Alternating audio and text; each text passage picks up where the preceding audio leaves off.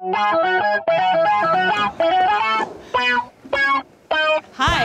I'm Miss Mickey, and today we have Danny Hello. and Violet. Sophie.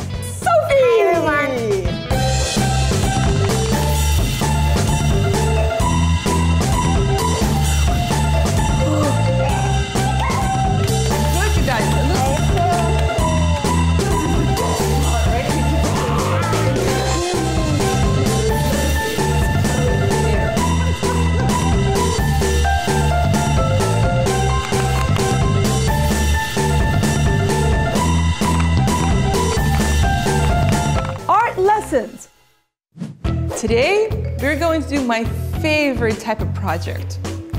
Not only are we going to use brushes, most importantly, we're going to use sponges. And you know what? That's so great because you can draw anything with sponges. It's quick, it's beautiful, and most importantly, it always looks great.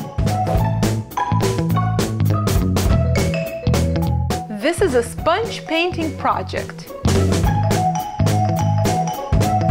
We have some examples up here, right? We got some birds, we got some flowers, Bird birds Birds on a tree, yes, that's right, and bats and bats, and apple. and an apple. But this is not what you're limited to. We can really draw anything you want, all right?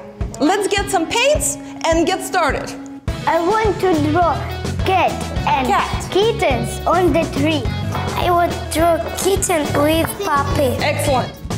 For this project, you will need a paint set, sponge squares, paper or canvas, one flat medium length bristle brush, and paper or plastic plate for mixing the color.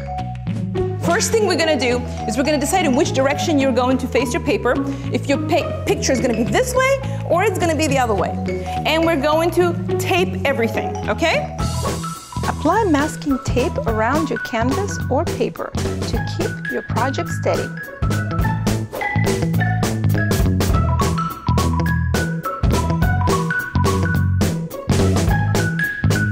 First thing is we're gonna make the background, okay? This means that before we make any kind of picture, we need to make nice, beautiful background. We're gonna take a sponge, we're gonna wet it just a little bit, and we're gonna add some yellow color. We wanna test it first in the dish because we don't want too much, okay? And then we just add it. Use sponge to apply color to the background. Apply and blend several colors right on canvas.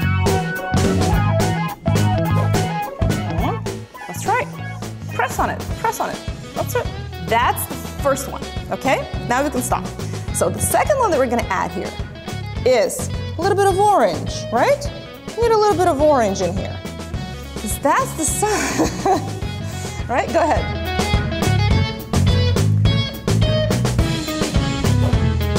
To create a dramatic look, work from dark color to light. Wait for the dark shade to dry and add light color as the highlight. Paint is becoming very dense and we have very nice transition here. Now if we see any empty spots, we can just fill them in and we can mix them. See, mix them together. The thicker the paint laid is laid, the paint becomes thicker. The thicker it is, the smoother the transition is, okay? I think we need a little bit of red, just a dab of red, okay? And now we definitely want to highlight the sun. Now you're gonna have the same start. Just go cover the whole thing.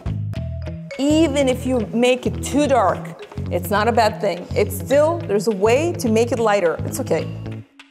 The more you draw, the better it gets, right? The more you add color, the more beautiful the blending be.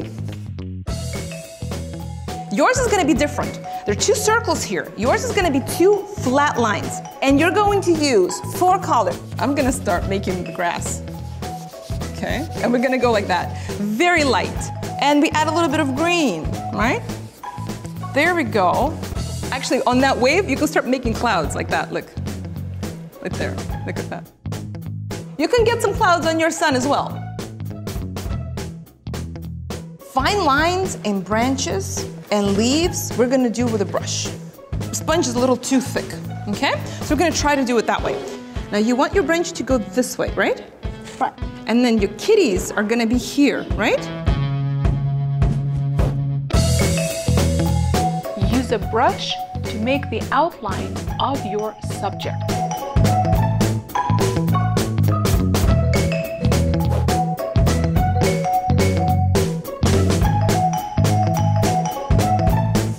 Good.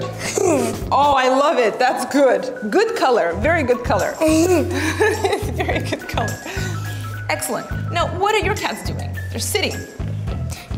This is a cat and mm-hmm. this is a dog. Okay, this is a cat and a dog. Maybe we can add a little piece of wood here, okay? Like a like a stump, like a tree stump. So we're gonna add a little tree stump here. Tree stump goes like that. All right, so it goes out. This is what they're gonna sit on. Okay. Okay. Now this is gonna be a cat, right? Yes. Okay, this is gonna be your cat here. And there's a tail right there. And this is gonna be your dog. Yes. A little bigger with the big ears, right? Fluffy ears. Okay? Mm. Okay. Like this.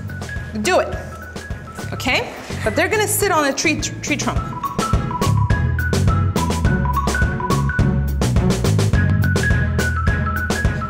Case, I would recommend using um, sponges because you see, in in this case, we have very small cats, right?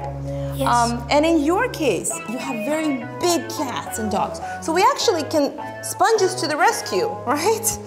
Um, we get a sponge with a nice sharp edge, right? So we want the sharp edge right there so that we can use that to get the nice smooth shape, okay? So we're gonna dip. Now, your cat, you said, is an orange cat, okay? Or a red cat, as we were told, okay? So we're gonna It's a kitten and puppy. Okay, it's a kitten and a puppy. Here we go. So here we go. What we're doing here is we're adding fur, right? Because cats and dogs have fur. And just by tapping, we're doing is, okay, we're just tapping, okay? Go for it. Use the edge of the sponge and random tapping to create fur. Look at this. Very lightly, like that. Right? Very lightly, just the edge so it's fuzzy. Look at that, right? Okay. Now we're almost done. We really are. We're just gonna add a few final touches, okay? Um, and you know what? I'm gonna start with you. We're just gonna add a few little leaves like that. And the leaves, they go from the inside out, right? Because the leaves, they grow from the branch out, right? Like that. There we go. And they're round. There we go, round leaves. Beautiful round leaves, okay? There we go. Just add a few small touches. Perfect. Looks good. There we go. All right. Keep going. You're almost done. Keep- It's almost perfect. It's And almost there. This what is Yes. color? That's right. I almost forgot. Oh my goodness. We're gonna fix it right now. I forgot because this is the stump, right? See how we're fixing the mistake right there? There was a little mistake and we immediately fixed it. Now, because this is a stump, we're gonna add a few lines, right? Just like that. Like a stump has a few lines, right? It's a tree. Yeah. There we go. And here. Just a little bit more here. A little bit more here and a little bit of the green. Brown, brown. Here we go, brown. Okay. Hold on. Just like that. There we go. Perfect. Uh-huh. Very good. And a little bit of the green. There we go. Because that is the direction, right? Those are that's the direction where it's going. There we go. Okay. And, And now we're gonna fix it. Just like that. Perfect. Nice blending technique, right? Layer on several colors to get a texture. One thing I see that we really need to fix immediately whiskers. Okay? Go for it. Okay? Perfect. Oh, we're missing whiskers again. It's missing whiskers day. Everybody's missing whiskers. Okay. I'm gonna clean my brush. Good. Um, I see that we have a little area right here that's a little hard, so we're gonna try to blend it in as well. Okay, we're gonna blend it in a little bit and add a little bit of the white as well. There we go, perfect. So we have a little fuzz on the head, right? It's furry. Um, just in case you're wondering, um, these cats and a dog, they're all facing. They're all facing to look at the sunset. That's why what we're looking at is the backs, okay? Okay, very good. And we're gonna add some whiskers, okay? Okay. Use a thin brush to paint on flowers or other small details. Tree branch that we see here, it has many, many colors. The reason it has many colors is so that it gives you definition and it looks more 3D, so it's not perfectly flat. And so what we have here is you have a little bit of the red and a little bit of the brown and a little bit of the green, and all of these things together, they make this picture very lifelike, right? Okay. I think I would just blend them in a little bit, okay? Just blend them in like that. It's not as hard. So there's smooth transition, okay?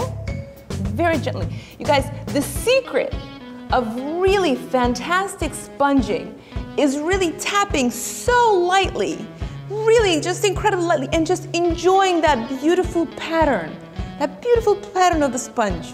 Because that's what sponging is about. It's not just poking, it's really just tapping and enjoying how the color spreads on the page. All right? Good. Looks very good. Here you go. Okay. Just need to add a few flowers in here. Right? Because it's a field, right?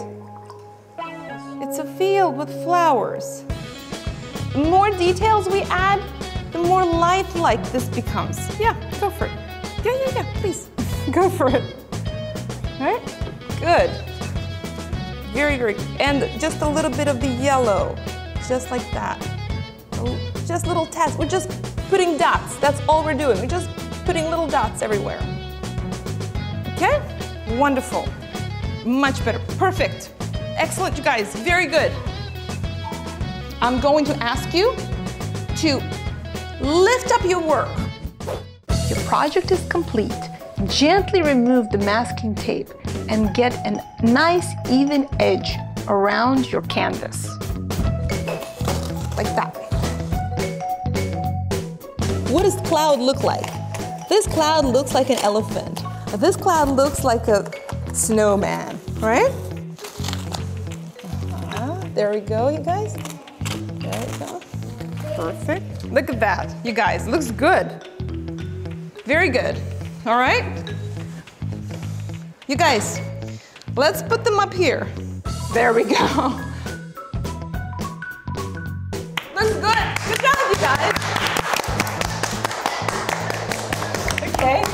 yeah.